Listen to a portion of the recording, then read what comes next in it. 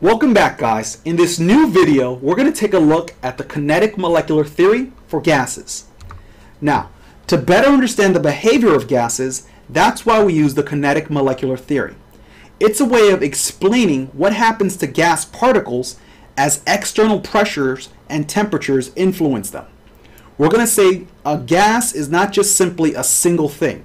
It's a collection of particles that move together and are influenced by these pressures and temperatures on the outside of the container. We've been talking about ideal gases this whole time. But what exactly is an ideal gas? Well, to be an ideal gas, you have to follow certain criteria or characteristics. If we look, we're going to say we have this vessel right here. Inside of this vessel, we have little black dots. Those little black dots represent individual gas particles. We have arrows pointing away from them because they're moving in straight lines.